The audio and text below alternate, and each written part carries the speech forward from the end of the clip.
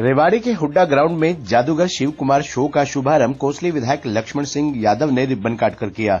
इस मौके पर जादूगर शिव कुमार की ओर से विधायक लक्ष्मण सिंह यादव का फूल माला पहनाकर व शॉल ओढ़ाकर स्वागत किया गया। उपस्थित दर्शकों को संबोधित करते हुए कोसली विधायक लक्ष्मण सिंह यादव ने कहा कि जादू एक कला है और कलाएँ कभी खत्म नहीं होती। उन्होंने कहा कि आज आधुनिक युग में तकनीक के मामले में दुनिया काफ़ी आगे पहुँच गई है। इसलिए सर्कस और जादू के शोक में लोगों का रुझान थोड़ा कम हुआ है। आधुनिकता की चकाचौंध में लोग अपने मोबाइल फ़ोन आदि में व्यस्त रहने लगे हैं। विधायक लक्ष्मण सिंह यादव ने कहा कि आज के लोग तनावग्रस्त ज़िंदगी में जीवन जी रहे हैं, जिस कारण कई तरह की बीमारियाँ उन्हें घेर रही हैं। ऐसे में जादूगर शिव कुमार लोगों को हंसाकर उनका मनोरंजन कर रहे हैं, ताकि लोग डिप्रेशन से दूर रहें। शिव कुमार का कहना है कि जादू कोई चमत्कार या तंत्र विद्या नहीं है, अपितु जादू में केवल ट्रिक होती है, जिसके माध्यम से दर्शकों को सम्मोहित किया जाता है। शो में हैरत अंगेज कारनामे देखकर आश्चर्यचकित रह गए। जैसे पानी के अंदर मौत को चैलेंज देने का दृश्य एक लड़की के आठ टुकड़े करना, स्टेज पर डायनासोर प्रकट करना नाग कन्या से जादूगर का युद्ध, रुपयों की बारिश करना आदि का दर्शकों ने लुत्फ उठाया। इस अवसर पर थाना मॉडल टाउन के एसएचओ कृष्ण कुमार, सुप्रसिद्ध कवि, हलचल हरियाणवी कवि आलोक बांडोरिया, रमेश ठेकेदार सहित कई गणमान्य लोग उपस्थित रहे। सर्वप्रथम तो आपको या रेवाड़ी में, रेवाड़ी की जनता की तरफ़ से हार्दिक अभिनंदन और स्वागत। जब मेरे को आप पहना रहे थे माला और लोई तो मैंने सोचा ये भी थोड़ी देर में जाने वाली है। इसलिए एक बार पुनः आपका स्वागत। और जनता का तो प्यार आप देख ही रहे हैं, ऐसा नहीं है। हर बार मिलता है और जनता की वजह से ही आप और हम हैं।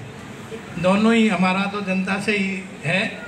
और मैं चाहता हूँ एक आपकी पूरी टीम का भी धन्यवाद यहाँ पहुँचने पे और सभी का अभिनंदन और स्वागत। और ठीक इसी तरह से कलाएँ कभी ख़त्म नहीं होती। कलाएँ आगे पीछे तो हो जाती है, कम ज़्यादा हो जाती है, कभी कला कभी ख़त्म नहीं होती है। ये भी है। और आज ठीक है कि टीवी की दुनिया ने, आईटी की दुनिया ने बड़े चमत्कार किए हैं। इसलिए थोड़ा बहुत इधर कम ध्यान है। लेकिन निश्चित तौर पे कलाएँ जो अपने आप में निपुणता की तरफ़ ले जाती हैं और रेवाड़ी का प्यार जब तक आप यहाँ रहेंगे तो निश्चित तौर पे मिलेगा। तो आप सबका एक बार पुनः धन्यवाद, हलचल हरियाणवी जी का भी, ताकि इन्होंने भी वैसे तो वरमाला हमने आपस में ही पहनी है। कोसली और रेवाड़ी दोनों के विधायक, श्री लक्ष्मण सिंह यादव। और रेवाड़ी की जनता। मैं सबसे निवेदन करूँगा कि इस बाजीगर को, ये कला के बाजीगर हैं और हम शब्दों के बाजीगर हैं।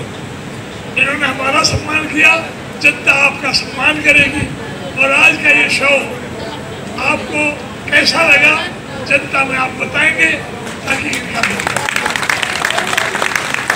जोरदार तालियाँ बजा करके समर्थ कीजिए बहुत धन्यवाद थैंक यू बाबू जी थैंक यू श्रीमान जी खबरनामा हरियाणा के लिए, रेवाड़ी से राजेश शर्मा की रिपोर्ट।